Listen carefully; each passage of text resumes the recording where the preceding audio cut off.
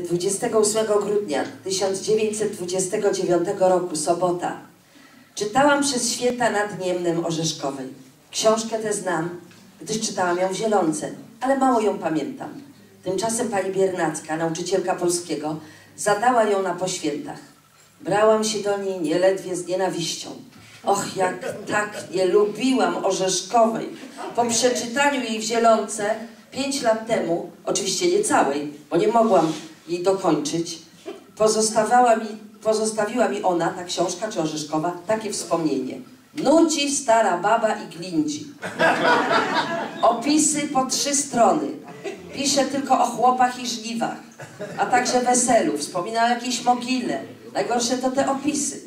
Zacznie już opowiadać jako tako, a znów są opisy drzew lub chmurek na niebie. Tfu! I, wie, I więcej książek Orzeszkowej nie czytałam, po prostu nie mając odwagi ni chęci. Teraz zaczęłam ją czytać z musu i muszę, muszę naprawić moją głupotę i niezrozumienie i przeprosić kochaną polską pisarkę. W szkole nauczyłam się dobrze czytać książki, rozważając o każdej postaci, o charakterystykach i tak. Początkowy opis południa litewskiego, o dziwo, zajął mnie bardzo.